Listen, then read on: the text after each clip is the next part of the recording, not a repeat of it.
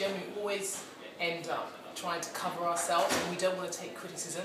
Criticism is the best thing that anybody could actually have given to them or said to them because what it does, it helps renew you.